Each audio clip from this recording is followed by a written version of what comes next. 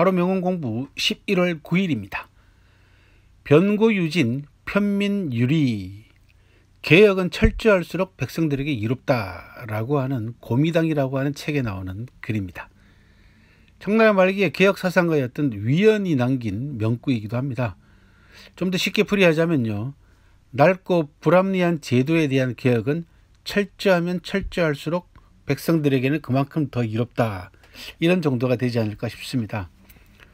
역사상 수많은 개혁이 시도되었지만 성공한 개혁은 극히 드물었습니다. 그래서 개혁의 혁명보다 더 어렵고 힘들다는 자주 섞인 푸념까지 나왔습니다.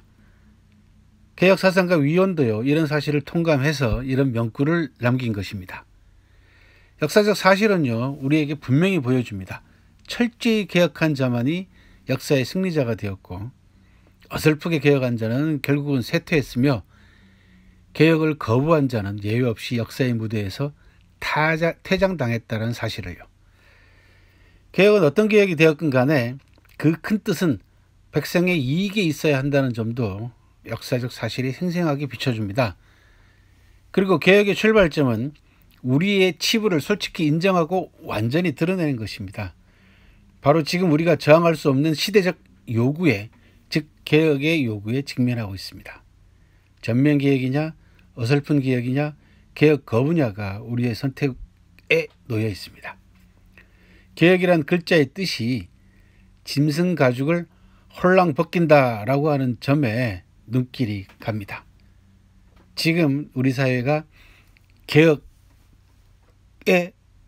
큰 흐름 속에 놓여 있고 국민들은 철저한 개혁을 요구하고 있습니다.